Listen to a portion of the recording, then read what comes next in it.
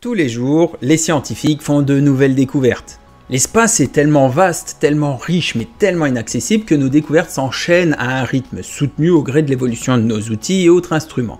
Bon, tout le monde sait ce qui se trouve dans notre système solaire, mais une petite piqûre de rappel ne fait pas de mal de temps à autre. Déjà, notre étoile, le Soleil, qui nous éclaire et nous réchauffe la journée. Et celui sans qui il me serait impossible de déblatérer devant vous des absurdités spatiales. Absurdités recherchées bien sûr les planètes telluriques avec dans l'ordre Mercure, Vénus, la Terre et Mars, les géantes gazeuses, Jupiter, Saturne, Uranus et Neptune, et quelques planètes naines comme Pluton, Eris, Cérès, Makemake ou Oméa. On trouve ensuite les satellites naturels. Bon, là par contre, je vais pas tous les citer, sinon la vidéo risque de durer des heures. Mais rien que pour Jupiter et Saturne, on en compte pas moins de 241 connus et observés. Ça commence à faire beaucoup. Il y a aussi les comètes, dont certaines viennent de contrées très lointaines de notre système solaire, comme la fameuse 12P Ponsbrook, qui pourrait potentiellement nous réserver un spectacle mémorable sous peu.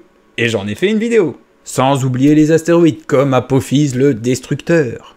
Nos géantes gazeuses ont toutes un point commun, elles disposent d'anneaux, plus ou moins visibles et composés en grande partie de glace, et Saturne est sans conteste celle qui a plié le game à ce sujet.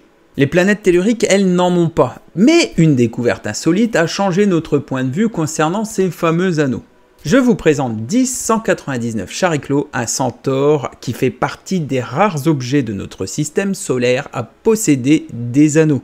Alors déjà, un centaure, c'est quoi? Un centaure est un astéroïde qui orbite entre Jupiter et Neptune et qui croise l'orbite d'une ou plusieurs géantes gazeuses. On les appelle aussi les planétoïdes. Il s'agit du plus gros objet de ce type, mesurant 250 km de diamètre, qui a été découvert en 1997 par James Vernon Scotty du programme Space Watch, et celui-ci gravit dans une zone lointaine entre Saturne et Uranus.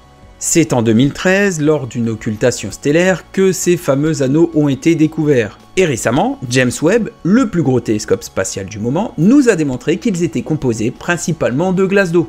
Évidemment, rien à voir avec les énormes cercles qui entourent notre Saturne national. Mais les anneaux qui l'entourent sont séparés d'environ 9 km, et les largeurs estimées sont de 7 km pour le premier et le plus dense, et 3 km pour le second. Et tout ça sur une distance comprise entre 391 km et 405 km du centre de ce petit objet plein de surprises. Sa formation reste un mystère pour les scientifiques, mais les deux hypothèses possibles seraient soit la collision entre deux astéroïdes, soit sa gravité qui aurait attiré les poussières et débris présents autour de lui. Mais pour que ces anneaux soient aussi uniformes, il est fort probable qu'un ou plusieurs satellites soient présents autour de Chariclo.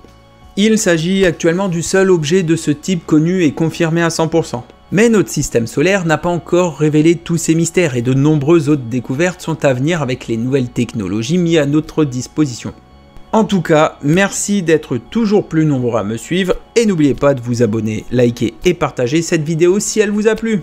En attendant, je vous dis hop là et à la prochaine